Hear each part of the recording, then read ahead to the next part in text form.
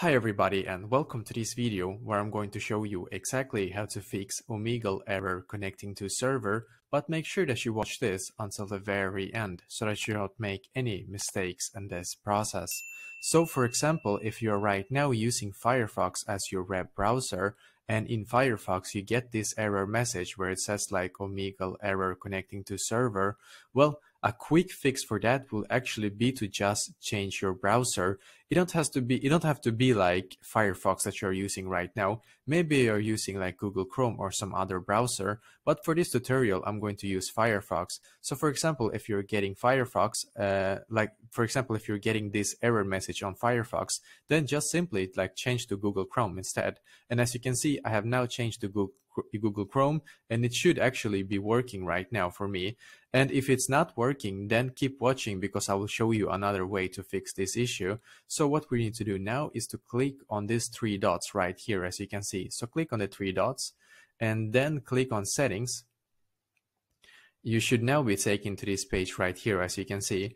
You should now click where it says privacy and security.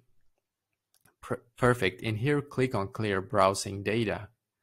Perfect, you're now taken to this page right here. What you need to do now is to just check this one where it says cookies and other site data. You will need to later click on clear data, but don't click it right now because before clicking that, make sure that you actually know all of the passwords and login details that you have saved before on your browser. Because when you click on clear data uh, here, then it will basically like it will basically like start from the beginning. So all the passwords and all the like accounts that you have saved before will basically be like, yeah, it will be logged out basically. So just so you know, so make sure that you actually know the login details before doing this. And after you have done that, you have checked this one and clicked on clear data, then go back to Omegle and see if it works for you now. It should actually be working for you right now. So let me know in the comments below if you have any questions and I will do my very best to try to help you. And also please leave a like on this video and subscribe to my channel because I'm doing a lot of helpful videos constantly